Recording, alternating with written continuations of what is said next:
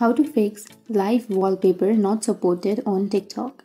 So um, if you're facing a problem with live wallpaper on TikTok and if it's not being fixed, then what you can do is first open up your TikTok application.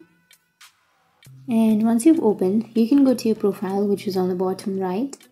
And here you will have a plus icon on your profile picture.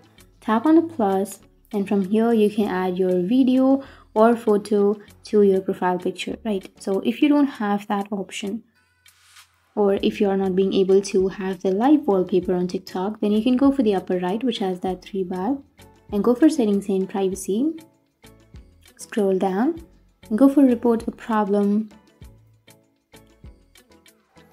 And under report a problem you can choose creation and under creation you will have wallpaper or live photo option. Tap on that. And here how to use a TikTok video as your phone's wallpaper. You will have this option right? So you're facing a problem with this option.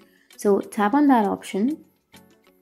So here it will give you all of the information that you can use to fix your problem. So you need to simply choose a video that you like on TikTok and tap the arrow icon on the video to open the share panel and then you can tap on set as wallpaper and tap install to confirm.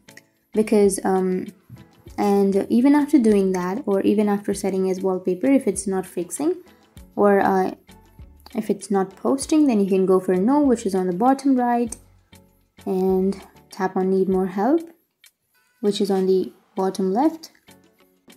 And it will take you to the feedback option. So here you need to write that uh, i'm not being able to have the live wallpaper on TikTok. I think it's not being supported on my account. So please help me with that. And uh, once you've written, you can upload some screenshots. And once you've done that, tap on submit, which will be here in the middle of your screen. And once you've submitted, now TikTok will take action on that and you may receive some responses from TikTok on how to fix your problem. So that's how you can fix your live wallpaper not supported on TikTok. And if you have any questions, feel free to comment below. Thanks for watching.